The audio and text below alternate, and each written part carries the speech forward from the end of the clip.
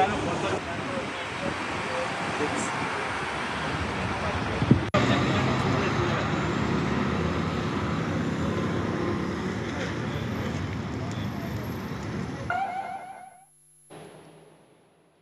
Evet bir son dakika haberimiz var. Siz de ekranlarınızda görüyorsunuz. İstanbul'da casusluk operasyonu 33 İsrailli gözaltına alındı. Arkadaşlarımız detaylar oldukça bana bildirecek. Ben de sizlere aktaracağım efendim.